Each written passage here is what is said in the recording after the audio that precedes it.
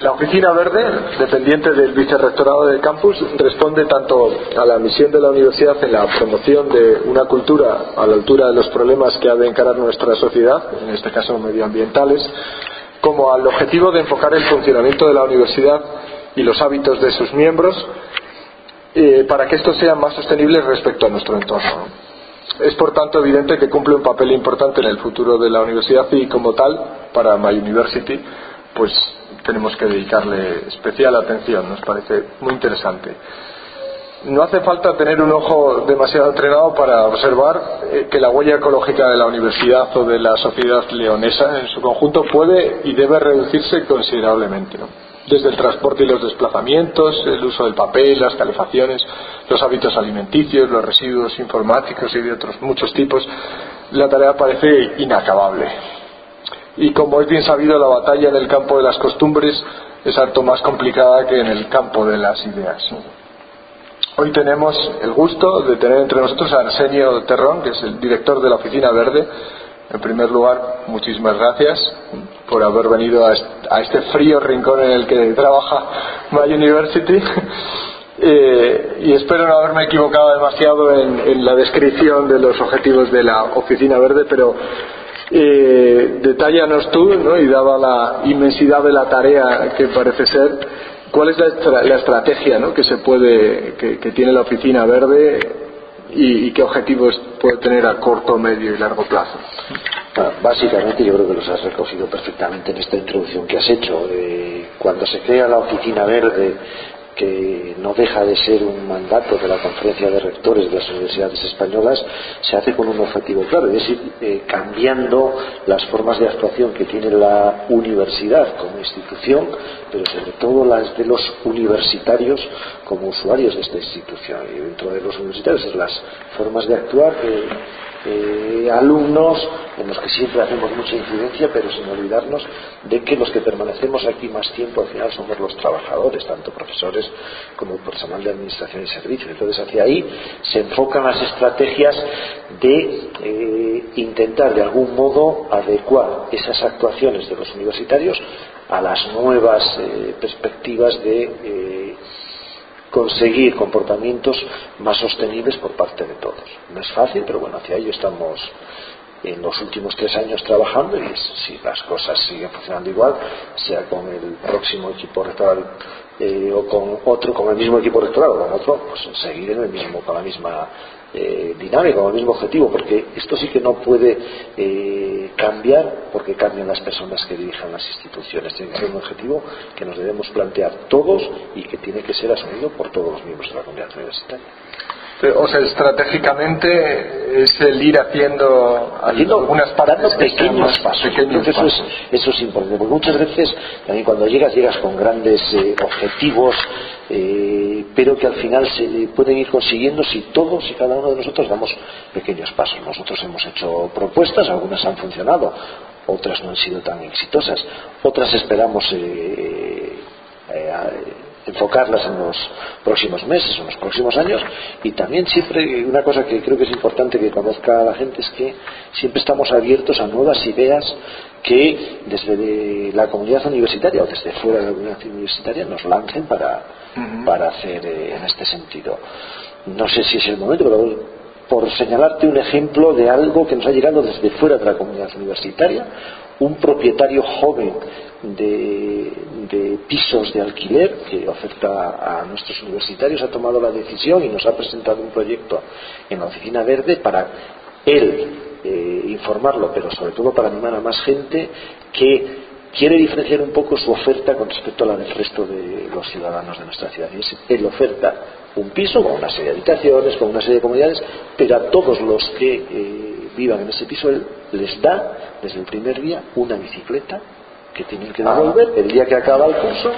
Ellos se hacen cargo de su mantenimiento, si tienen algún problema a lo largo del año, pero les oferta a todos una bicicleta, porque quiere apostar, porque ese es el, modo de desplazamiento, que eh, una parte de sus ingresos supongo que son de esos alquileres, pero una distinción que a mí me parece interesante y que desde la Oficina Verde estamos dispuestos a apoyar para que más gente entre en esa, en esa rueda y al final, bueno, pues si eh, conseguimos que más gente cambie sus hábitos, en este caso de desplazamiento, porque les facilitamos también o les facilitan la forma de hacerlo, pues creo que puede ser muy interesante.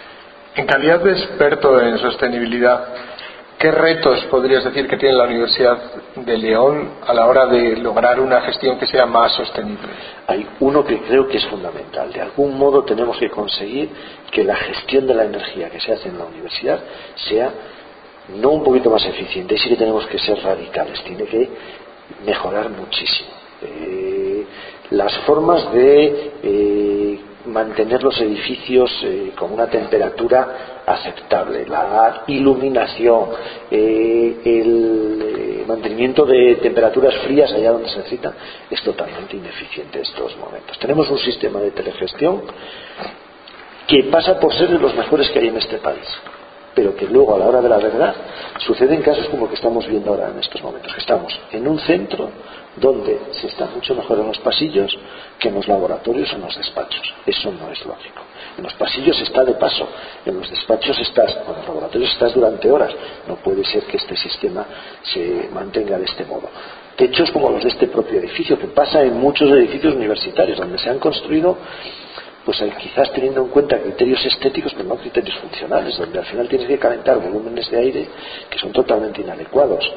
He visto al entrar en vuestro eh, centro que las luces en los pasillos se van encendiendo o apagando en razón de la presencialidad de la gente. Hay edificios donde desde las 8 de la mañana hasta las 9 de la noche están encendidas todas las eh, luminarias del de, eh, edificio, independientemente de que haya gente o no eh, discutiendo por ello. No tiene ningún sentido seguir haciendo esto. Algo parecido pasa con el agua. Hace unos meses tuvimos una reunión sobre uso eficiente del agua que se hizo en Zaragoza, mm, ligado al tema de la exposición universal que hubo, en su momento.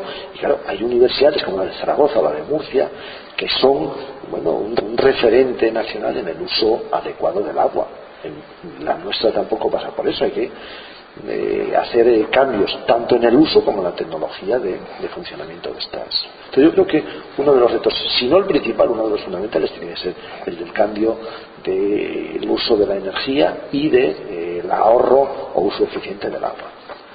¿La movilidad? La movilidad es otra cosa fundamental. Ahí pero ya estamos, digamos que es en lo que más nos hemos metido. En la oficina verde quizás donde más ha trabajado es en temas de movilidad.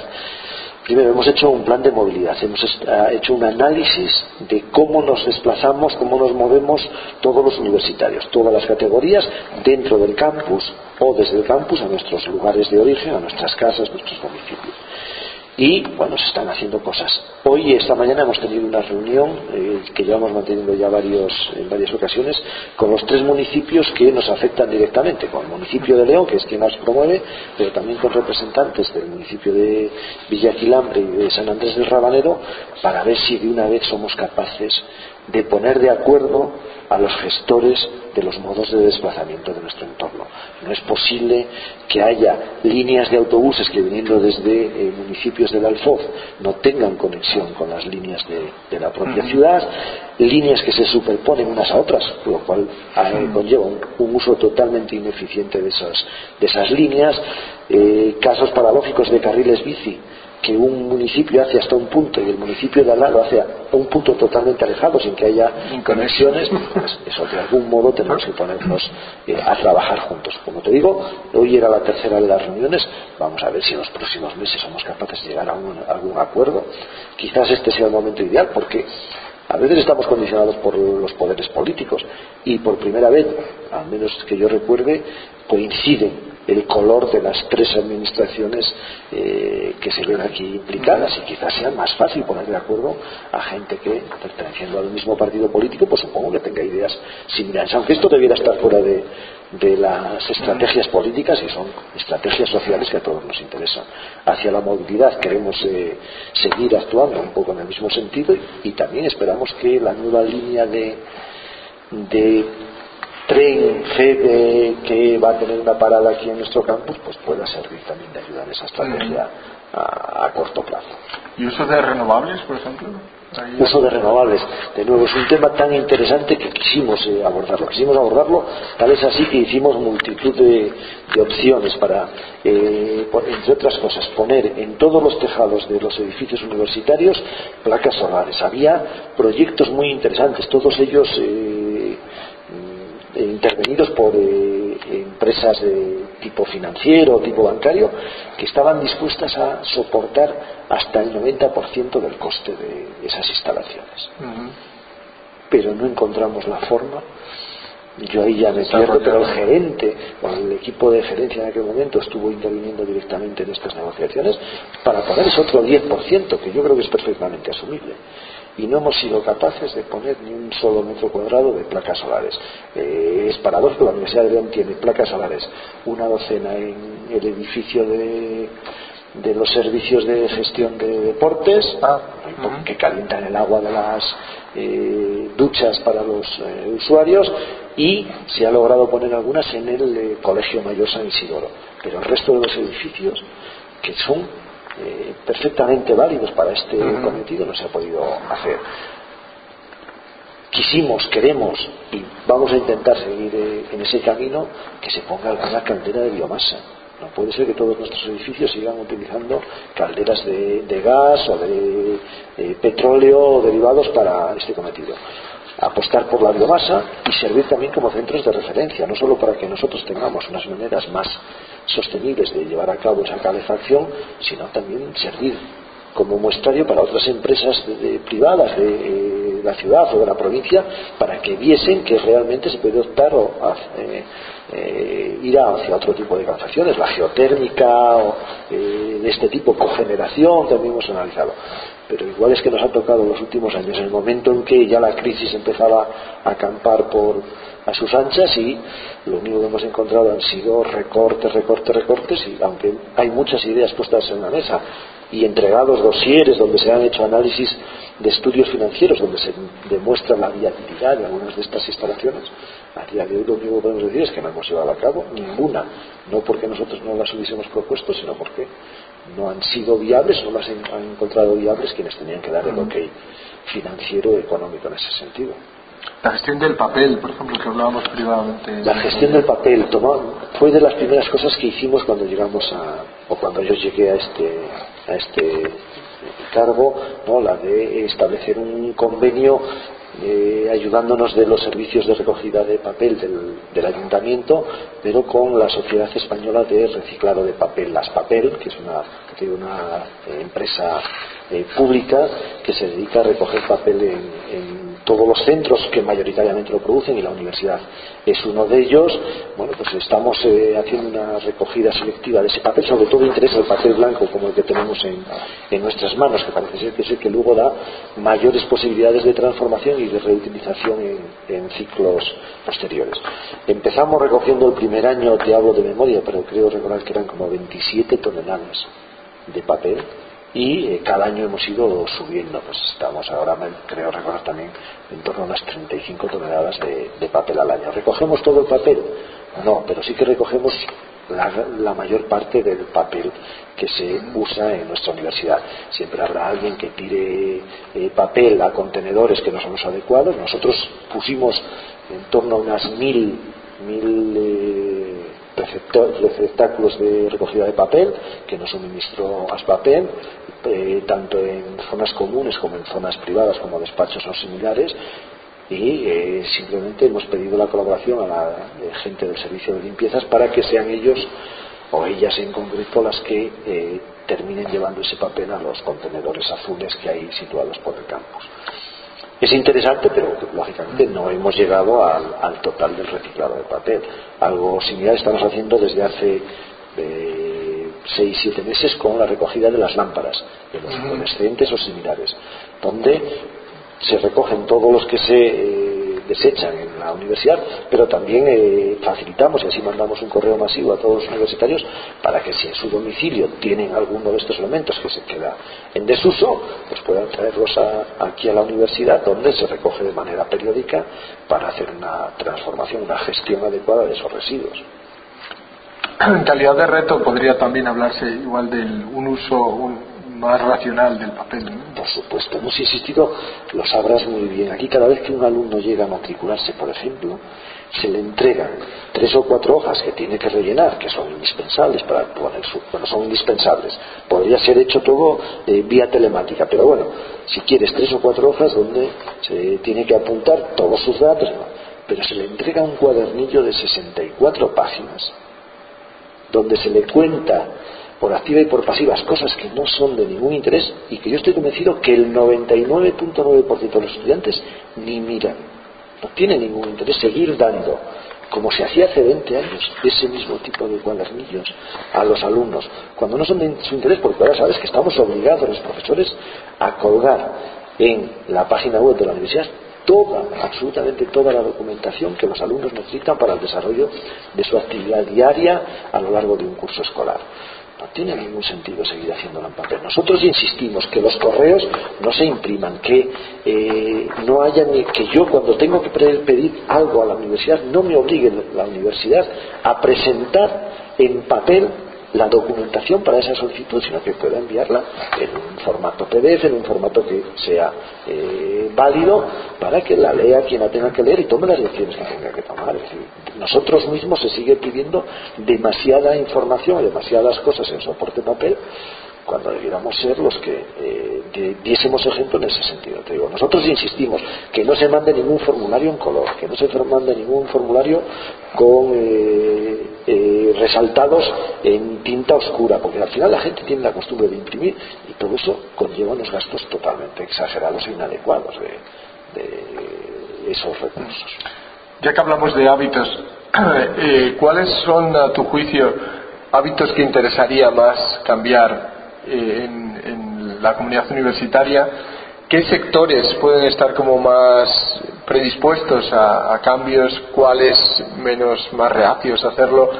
Y, también quería preguntarte si, si, se observa una tendencia positiva en algunos sentidos, negativa en otros sentidos respecto a sostenibilidad. Empezamos, si quieres, por el final. Sí que se puede decir que ha habido cambios eh, positivos en los hábitos, en las costumbres de los universitarios, pero han sido muy, muy lentos. Allá donde nosotros hemos querido intervenir, nos hemos encontrado muchas más veces con rechazo que con aceptación. Sí que es cierto que, aunque tengamos que generalizar que ningún colectivo de los tres que conforman la universidad ha sido especialmente receptivo ante esto, sí que en el mundo de los estudiantes han eh, apostado muy fuerte por cambiar en cierta medida esos hábitos de desplazamiento. Quizás también lo comentábamos hoy en esta reunión que te la crisis en ese sentido haya ayudado. Hay menos alumnos que vienen en coche, pero sigue habiendo el mismo número de profesores o de personal de administración que seguimos veniendo en automóvil, no hemos cambiado en este sentido, no ha aumentado el uso del transporte público, aunque lo hemos intentado haciendo campañas de sensibilización en ese sentido, no hemos conseguido que prácticamente nadie se apunte al servicio de coche compartido, gente que venga desde, bueno, pues de distancias más alejadas de nuestra ciudad, que ponga su coche al servicio de, cualquier, de cualquier otro universitario que viva en el entorno. Nos parecía una cosa interesantísima. Tenemos una plataforma en la página web de la Oficina Verde para apuntarse en este sentido y no sé si hay 8 o 10 personas apuntadas. no, no, puede, no puede seguir siendo ese sin sentido de llegar a la universidad un ocupante por, por automóvil. Incluso de interés social. Claro, claro, porque al final sería. Y, y, que se podría eh, traer a estudiantes, a, a, trabajadores, incluso una persona que, el que trabaja aquí en el establecimiento de al lado del campus, aunque no sea universitario, ¿por qué no compartir la misma, el mismo modo de desplazamiento? Es decir, hay pequeños pasos que se han dado. Hay eh, costumbres que son muy difíciles de quitar. Es la de, en el momento, profesores. Yo llego a mi despacho en torno a las 9 de la mañana, enciendo la, luz de mi despacho, el ordenador de mi despacho, y a las 9 y 5 estoy en el aula y Lo habitual es que yo deje la luz de mi despacho encendida, el ordenador de mi despacho encendida, muchas veces un radiador eléctrico encendido, con lo sencillo que es, si yo voy a tardar, pues si voy a volver a los cinco minutos, quizás no sea necesario hacer apagar todos esos eh, elementos, pero sí, voy a tardar unas horas en volver a, mi despacho, lógico es eh, eliminar esas, esas fuentes de consumo energético. Eso es muy difícil de conseguir. Eh, como te digo, somos muy pesados. A la, a la oficina verde a veces nos, nos tildan de ser demasiado pesados a la hora de enviar correos masivos a los universitarios en ese sentido educativo pero creemos que tenemos que hacerlo, es un poco ahí un pepito brillo de recordarnos eh, que las cosas que hacemos mal y que es, muy, muy sencillo eh, cambiarlas y, conseguir con ello ahorros o formas de, de eficiencia mucho más interesantes. De las actividades que desarrolláis, ¿cuáles son las más demandadas por parte de la comunidad? Con diferencia de todo lo que hemos puesto en marcha, lo que tiene más demanda es el, servicio de préstamo de bicicletas. Bueno, no tenemos un número elevado de, bicicletas, pero lo que tenemos están en uso prácticamente constante. Lo normal es que el 90% de las mismas estén en, funcionamiento. Siempre hay un 10% que o bien por eh, fallos o bien, bueno, pues en ese momento la disponibilidad no se, no se usan, pero en general se tiene una aceptación muy grande. Exactamente lo mismo nos ha sucedido con iniciativas que comenzamos el año pasado relacionadas con el medio ambiente, pero más con la alimentación, porque también creemos que es otra forma importante de, incidir en la vida universitaria, mejorar la calidad. Hábito. exactamente, sí, sí. O sea, apostar por el consumo de productos no me atrevo a llamar ecológicos, pero sí mm, menos agresivos o, conseguidos con agricultura menos agresiva. Pusimos en marcha el servicio de cestas ecológicas, desde el mes de marzo al mes de octubre han estado funcionando, lo retomaremos seguramente en dos o tres semanas. Hablábamos de estos periodos porque es el periodo que en León hay productos naturales, es decir, nosotros podríamos seguir eh, trayendo cestas que le podríamos llamar ecológicas, pero los productos no vendrían de nuestro entorno, es decir, al final la huella ecológica que comentabas antes sería muy grande, porque tenemos que mirar también el ciclo de vida de los productos. Entonces, apostamos por productos locales, por productos que sean obtenidos por agricultores que apuestan por otro tipo de, agricultura, y eso resultó muy interesante. Y ligado a esto nació el tema de los huertos. Eh, para eh, universitarios, el año pasado teníamos 40, este año hemos ofertado 20 más, pero para que te hagas una idea, para esos 20 había 89 solicitudes. hay mucha gente que quiere volver a saber qué es eso de tener tu propio huerto. Yo que el año pasado dispuse de uno ellos, es laborioso, es trabajoso, pero la verdad es que es grato. poder al final de eh, varios meses de trabajo en la huerta, de volver a, comer algo que tú mismo has cultivado, es que te hace replantearte la unión con, ese tipo de entorno.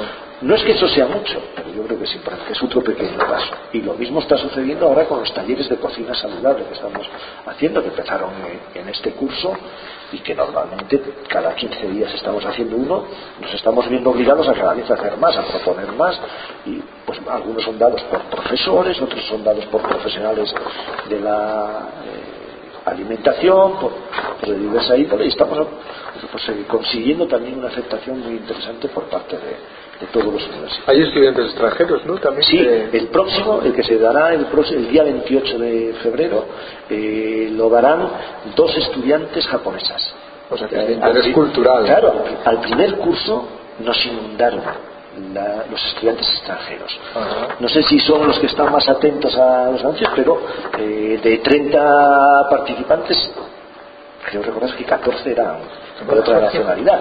Y como había varias eh, chicas de nacionalidad japonesa, les propusimos, si no les importaba, eh, preparar ellas uno. Dijeron que sí, que con meses para tener. Y bueno, la próxima, la próxima semana es el de cocina japonesa.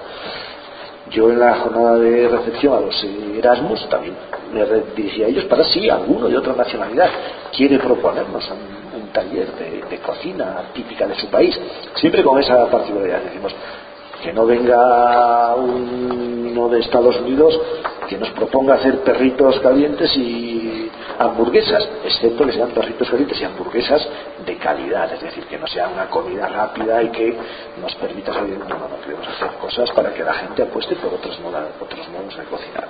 Se puede comer lo que a todos, eh, una pizza que le encanta a los universitarios, pero que sea una pizza hecha con harina de calidad, con ingredientes de calidad y que no sea una de las que te puedas comprar en un centro comercial que es todo menos saludable.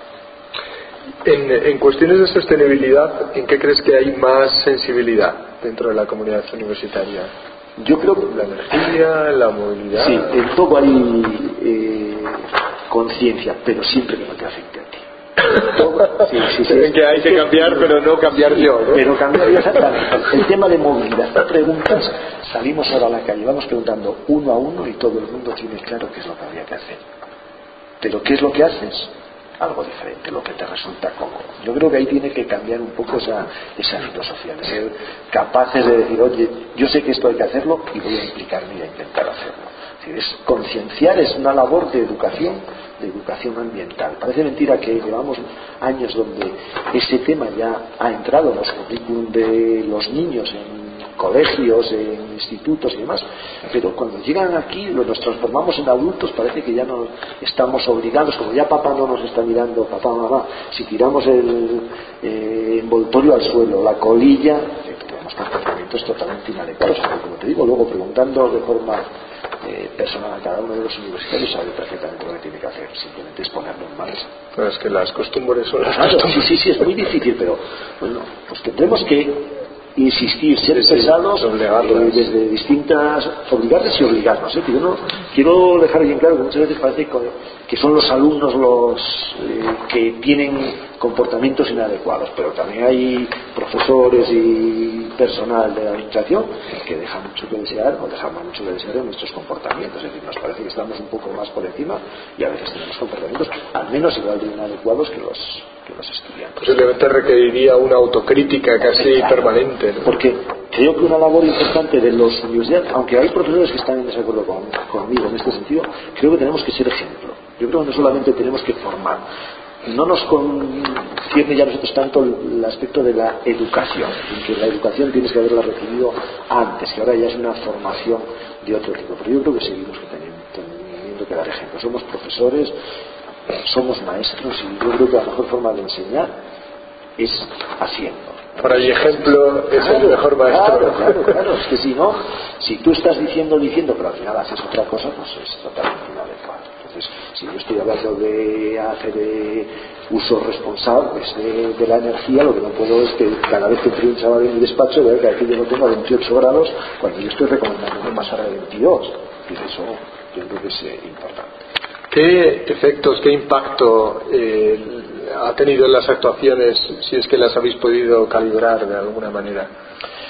Eh, digo, hemos conseguido que mejoren algunos comportamientos, muy poquito, ¿eh? muy poquito, no podemos ser ahí pretenciosos, hemos lanzado muchas ideas y, no todas han, han acabado bien, pero sí que poco a poco hay comportamientos personales que van cambiando, hay centros que han decidido tomar medidas, es decir, eh, eh, la Facultad de Ciencias de la Actividad Física y el Deporte ha decidido de motu propio, a raíz de algunas de nuestras recomendaciones, mejorar los sistemas de iluminación, es decir, mejorar en el sentido de empeorarlos, es decir, de rebajar Sí, sí. la luminosidad allá donde no se necesita o adecuarla a las necesidades de los espacios que tiene. Pues, por ejemplo, me parece que es una, una actividad interesante. Algunos centros están empezando a apostar por grifos de eh, suministro de agua de tiempo, es decir, que no abras y esté totalmente eh, cayendo agua, sino que sea algo muy temporal, periodos de tiempo corto, por sistemas de cisternas de doble descarga, que es eh, prácticamente eh, inhabitual en todos los centros. Pues, son cosas que cuestan dinero, pero son cosas que cuestan poquito. Y que ir haciendo cambios eh, progresivos, bueno, pues todos los edificios seguro o todos los centros podrían hacerlo, pero tienen que apostar por ello. Nosotros seguimos insistiendo y me parece que debemos seguir insistiendo para que se vayan haciendo esos pequeños cambios. ¿Cuánto tiempo lleva funcionando? Porque no he La hablado acerca de... La oficina verde lleva, le- se puso en funcionamiento en eh, el mes de mayo del año 2008. Decir, va a ser cuatro años. Eh, cuatro años simplemente. Empezó a funcionar, digamos que con eh, personal en octubre del año 2008. Ajá. Muy poquito tiempo pero bueno, nacieron este concepto, te decía, ligado a la conferencia de rectores de las universidades españolas, nació en el año 2007. Era todos preocupados, pero nadie había puesto nada en funcionamiento. Ahora que has hablado de recursos, lo has hecho, vamos, hace un, minuto. Eh, ¿Cuáles son los, las principales necesidades y, y quizás principales retos que pueda tener la oficina verde de cara a cumplir sus objetivos? Pues eh, fundamentales son contar con personal. No puede ser que eh, nuestra universidad apueste por tener una oficina verde o por tener eh, criterios de sostenibilidad y luego no tener personal que pueda eh, cumplirlos de algún modo. Para que te hagas una idea, sé que no somos del mismo tamaño que la Universidad de Salamanca, pero la Universidad de Salamanca tiene a cinco técnicos, además del director de la oficina verde, a cinco técnicos trabajando de forma continuada en ella. Aquí en la Universidad de León tenemos a una becaria una muchacha que está haciendo unos esfuerzos tremendos, que está trabajando perfectamente, pero es una persona que tiene que atender a muchas cosas. Si no apostamos por estabilizar un poco al personal y porque haya más de una persona trabajando en esto, pues no es fácil sacar recursos eh, adelante. Hay muchos proyectos que son proyectos europeos, proyectos que hacemos coordinados con otras universidades, con otras instituciones, con municipios y demás, que necesitan de mucha atención y por tanto necesitamos de más personal tampoco creo que sea mucho pedir que eh, la Universidad de León tenga, como te digo, a, un número de personas, no sabía decirte cuántas, pero que se mantengan estables para algo como esto, porque al final, haciendo números, nosotros al gerente hemos logrado hacerle ver, no sé si convencerle, pero hacerle ver que se podría ahorrar dinero, simplemente invirtiendo en tener a alguien más en este, en este campo, proponiendo luego a través de esa oficina pues medidas de ahorro eh, en cosas como, pues, como hablábamos, la energía, el agua, papel, eh, disponibilidad de desplazamientos, etcétera. Las actividades relativas al fomento de la bicicleta me parece que, o sea, que han tenido por una parte un empujo eh, decidido y a mi juicio además bastante ingenioso, interesantísimo. Me parece emblemático también eh, en cuanto al, modo de abordar problemas de sostenibilidad, porque coordináis ¿no? Eh, tanto lo que es el préstamo, el uso, con el estudio científico y la posibilidad de de, orquestarlo con las administraciones públicas. ¿no? ¿Nos podrías explicar un poco el sistema este de, análisis de los hábitos del uso de la movilidad y cómo se coordina y qué resultados se obtienen lo científico y lo administrativo? Realmente lo novedoso de nuestro servicio de préstamo de bicicletas con cualquier otro servicio de préstamo de universidades españolas radicaba precisamente en eso, en la dualidad de, eh, a la vez que prestábamos un servicio de eh, dejar una bicicleta a los universitarios, era pedirles que a cambio ellos nos permitiesen conocer los hábitos de desplazamiento de esos universitarios. En lugar de hacerlo mediante encuestas, de tú has usado la bici, qué recorridos has hecho, era aportar a ese universitario un sistema de GPS, de seguimiento eh, vía eh, eh, satélite de, sus desplazamientos para que cuando nos devolvía la bicicleta al cabo de 15 días o de 3 semanas nosotros podemos descargar en nuestro ordenador esos movimientos con una particularidad por el problema de la ley de protección de datos en el momento en que nosotros activamos el sistema de GPS al ordenador el dato del usuario desaparece. Dejamos de saber quién ha sido aunque sí que mantenemos el perfil de si era hombre o mujer de si era de una edad u otra si era estudiante mantenemos para nosotros luego poder hacer análisis de perfiles relacionados con eso, con si, si, eres mujer usas más la bici o menos, si tienes más de 30 años usas más o menos la bici, qué recorridos haces. Es decir, no perder los datos que pudiesen ser de interés sociológico. ¿no? el objetivo es sacar patrones de comportamiento. comportamiento. Porque curiosamente es que los hay. Es que hay patrones de, comportamiento asociados a sexos, a edades, a titulaciones, porque al final uno termina aquí en la eh, escuela de ingenierías por algo, porque tienes un, patrón de comportamiento, seguramente. Luego habrá siempre gente que se salga de esos patrones, pero habitualmente funcionan bastante bien. Entonces, con todos esos datos, nosotros lo que pretendemos es hacer análisis de, eh, además de esos patrones de desplazamiento, de zonas de desplazamiento preferente. Es decir, el ayuntamiento ha apostado por hacer carriles bici. Algunos están hechos por lugares donde nadie pasa con la bicicleta. Y luego en zonas de máximo tránsito de bicicletas no hay ninguna vía que favorezca el tránsito de los ciclistas. Eso no parece eh, ser acorde a lo, que, a lo que se necesita. Los carriles bici, en caso de hacerse, debieran hacerse allá por donde son demandados o donde hay una eh, paso de ciclistas. Quizás habría que hacer estudios previos antes de los carriles. Aquí no, aquí se ha optado siempre por hacerlos y luego veremos a ver si los usuarios pasan. Eso es totalmente inadecuado. Los datos que nosotros eh, obtenemos permiten hacer estas intuiciones con datos reales de por dónde se desplazan los universitarios y por lo tanto proponer a las administraciones que actúen de forma adecuada. Eh, bueno, viendo, por ejemplo, cómo, es un poco la promoción municipal, administrativa de la, de la bicicleta, que no hay excesivo eh, apoyo para ello, me parece que la tarea es, es un poco difícil. ¿Cuál, ¿Cuál crees que puede ser un poco el horizonte que puede lograrse en cuanto a movilidad sostenible y que es por lo que estéis vosotros un poco batallando, ¿no? Te lo decía antes en cierta medida, es decir, de estas reuniones que estamos manteniendo con los eh, municipios que nos afectan a nosotros, es coordinar iniciativas, que no cada uno vaya por un lado. San Andrés del Rabanero tiene un servicio de préstamo de bicicletas que no es compatible con el de León, eh, Villa Aquilambre eh, lo mismo, el municipio de León tiene un servicio de préstamo municipal de bicicletas en el que cualquier universitario que no esté empadronado en la ciudad no puede hacer uso de él, parece totalmente inadecuado. Ajustar, como te decía antes, las vías de penetración o de salida de los universitarios desde el campus hacia los diferentes barrios de León de forma adecuada, hacer que la conducción sea segura para los ciclistas. Lo que más retrae a la gente venir en bici es la falta de seguridad la, eh, el peligro en el que entienden que se ponen por venir en bici. Hay ciudades de Europa con muchísimos más habitantes que León por donde tú puedes andar con la bici seguro. Y aquí muchas veces, bueno, es que hace mucho frío, hace mucho más frío en Copenhague y la gente se desplaza en bicicleta. Hay mucho tráfico, hay mucho. Yo he visto en Milán que la gente conduce de manera horrenda, pero respetan al ciclista y hay miles de ciclistas moviéndose por la ciudad de Milán.